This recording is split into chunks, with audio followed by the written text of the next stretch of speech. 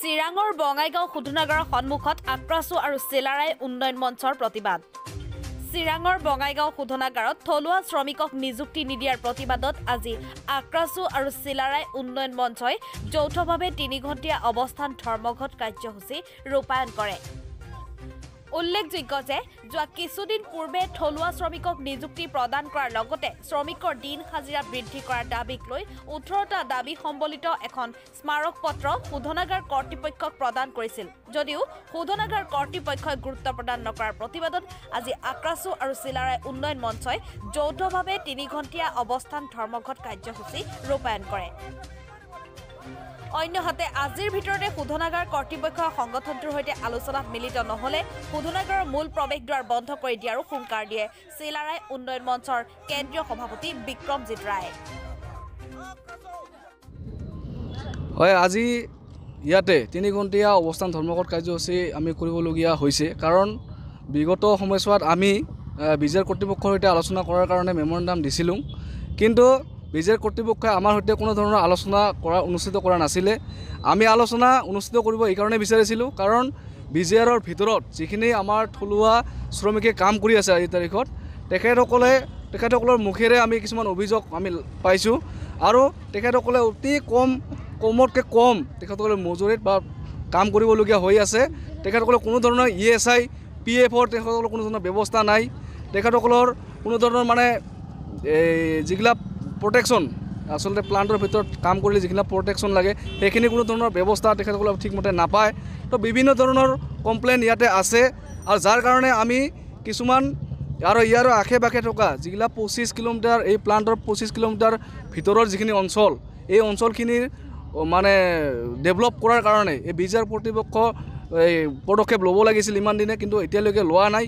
গতিকে এইবিলাকৰ গোটেই সমস্যাবিলাকৰ বিতংভাৱে আলোচনা কৰাৰ কাৰণে আমি বিজাৰ কৰ্তৃপক্ষৰ সৈতে এটা আলোচনা আলোচনা অনুষ্ঠিত কৰাৰ কাৰণে আমি মেমৰেণ্ডাম দিছিলোঁ। কিন্তু বিজাৰ কৰ্তৃপক্ষই আজিলৈকে কোনো ধৰণৰ আলোচনা আমাৰ সৈতে অনুষ্ঠিত কৰা নাই। আৰু যাৰ কাৰণে আমি আজি এনেকুৱা ধৰণৰ প্ৰতিবাদী কাৰ্যসূচীৰ জৰিয়তে আমি মানে বিজাৰ কৰ্তৃপক্ষক অনুৰোধ জনাব বিচাৰিছোঁ। যদিহে ইয়াৰ পিছতো তেখেতসকলে কোনো ধৰণৰ আলোচনা আমাৰ সৈতে অনুষ্ঠিত নকৰে তেনেহ'লে পৰৱৰ্তী সময়ত আৰু ইয়াতকৈ আমি তীব্ৰতৰ আন্দোলন গঢ়ি তুলিম। কাৰণ আজি হয়তো অলপ মানুহ আপোনালোকে কম দেখিবলৈ পাইছে। কাৰণ আমাৰ পাৰ্মিশ্যন ওলোৱাতে অলপ মানে টাইম বেছি লাগিলে। গতিকে পৰৱৰ্তী সময়ত আমি ইয়াতকৈ আৰু হাজাৰ হাজাৰ হাজাৰ হাজাৰ ৰাইজ ওলাই লৈ আহি আমি ইয়াতে আমি প্ৰগ্ৰাম কৰিবলৈ বাধ্য হ'ম। আমি চিলাৰৰ অনুমঞ্চ চিৰাং জিলা আৰু ৰাজবংশী ছাত্ৰ নেতা চিৰাং জিলা সমিতি যৌথভাৱে ইয়াত বি জি আৰৰ যিটো বঙাইগাঁও ৰিফাইনাৰী আছে ইয়াৰ সন্মুখত আজি আমি প্ৰতিবাদী কাৰ্যসূচী গ্ৰহণ লৈছোঁ। আৰু এই প্ৰতিবাদী কাৰ্যসূচীৰ কাৰণটোৱে হ'ল আমি ওঠৰটা দাবীৰে এটা স্মাৰক পত্ৰ আমি যোৱা ত্ৰিছ তাৰিখ আৰু যোৱা বছৰৰ আমি সাত তাৰিখে আমি প্ৰদান কৰিছিলোঁ। কৃত বি জি আৰ কৃতপক্ষক কিন্তু তেওঁলোকে যিধৰণে সঁহাৰি দিব লাগিছিলে সেইধৰণে কোনো ধৰণৰ সঁহাৰি আজিলৈকে আমি নাপালোঁ। যাৰ ফলশ্ৰুতে আজি আমি ইয়াতে আন্দোলন কাৰ্যসূচী ল'বলৈ বাধ্য হ'লোঁ। আৰু এটা কথা স্পষ্ট আমি ইয়াৰ আজিৰ আন্দোলন কাৰ্যসূচী সুকীয়াই দিছোঁ যে যদি আজিৰ ভিতৰত তেওঁলোকে আমাক লগত এই সমস্যাৰ বিষয়বোৰ লৈ কিনে আলোচনা যদি মানে বৈঠক যদি অনুষ্ঠিত নকৰে তেতিয়াহ'লে অহাকালিৰ পৰা অনিৰ্দিষ্টকাল বি জি আৰ যিটো বঙাইগাঁও ৰিফাইনেৰী আছে সেইটো বন্ধৰ দৰে কাৰ্যসূচী আমি পালন কৰিবলৈ বাধ্য হ'ম। আৰু এটা কথা স্পষ্ট যে এই যিটো আছে বি জি আৰ আছে ইয়াতে সম্পূৰ্ণভাৱে দুৰ্নীতি চলি আছে। স্থানীয় যুৱকসকলক যিধৰণে নিযুক্তি প্ৰদান কৰি আছে তেনেকৈ নিযুক্তি প্ৰদান কৰা নাই। আৰু ইয়াতে যিবোৰ স্থানীয় শ্ৰমিক কৰ্ম কৰি আছে তেওঁলোকক যিধৰণে মজুৰি প্ৰদান কৰিব লাগিছিলে সেইধৰণে মজুৰি প্ৰদান কৰা নাই। আজি আমি চাব যাওঁ যিটো নুমলীগড় ৰিফাইনেৰী আছে তাতে আঠশ পঞ্চাছ টকা ন আন স্কিল মানুহৰ যিটো আছে নতুনকৈ যি সোমাই তেওঁৰ আঠশ পঞ্চাছ টকাকৈ ডেইলি হাজিৰা। কিন্তু ইয়াতে কি হৈ আছে ইয়াতে মাত্ৰ চাৰিশ টকা ডেইলি হাজিৰা দি আছে। এতিয়া কথাটো হ'ল চাৰিশ টকাৰে কাৰোবাৰ ঘৰ সংসাৰ চলে নেকি? যিধৰণে তেওঁলোকক সা সুবিধা দিব লাগিছিল সেই শ্ৰমিকসকলক তেনেধৰণে সা সুবিধা দিয়া নাই।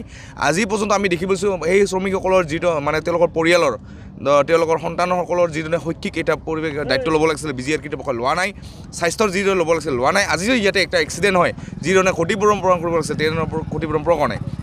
সেইকাৰণে আমি বি জি আৰ কৃতপক্ষক কৈছোঁ যে অতি সোনকালে এই সমস্যাবোৰ সমাধান হ'ব লাগে। লগতে যি যেতিয়া এই বি আৰ পিলখন গঠন হৈছিল তেতিয়া এটা চুক্তি আছিলে যে বি আৰ পিলৰ ওচৰে পাজৰে যিবোৰ অঞ্চল আছে পঁচিছ কিলোমিটাৰ ডিষ্টেঞ্চৰ অঞ্চল যিবোৰ আছে যে উন্নয়ন হ'ব লাগে।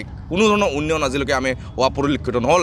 আজি চিৰাং জিলাত শৈক্ষিক হওক সামাজিক হওক অৰ্থনৈতিক হওক বা আমি যদি চাব যাওঁ খেলৰ ফালো দিয়ক আজি আমাৰ এই যিখিনি ইমান ডাঙৰ এটা কোম্পানী থকাৰ পিছতো আমাৰ এই অঞ্চলটো পিছ পৰি আছে এই জিলাখন পিছ পৰি আছে। লগতে ইমান এটা ডাঙৰ কোম্পানী থকাৰ পিছতো এই জিলাখনৰ যিবোৰ ওচৰে পাঁজৰে যুৱক যুৱতীসকল আছে তেওঁলোকে বহিৰাজ্যত কৰ্মত যাব লগাত পৰিছে।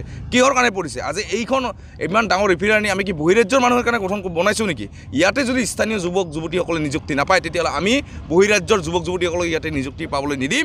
আৰু এটা কৰি স্পষ্ট যদি তেওঁলোকে আজিৰ দিনটোৰ ভিতৰত আমাৰ লগত আলোচনাত নবহে তেতিয়াহ'লে অহাকালিৰ পৰা এইটো অনিষ্টকাল প্লান বন্ধ থাকিব। আৰু ইয়াৰ কাৰণে একমাত্ৰ দায়ী বি জি আৰ কৃতপক্ষই হ'ব।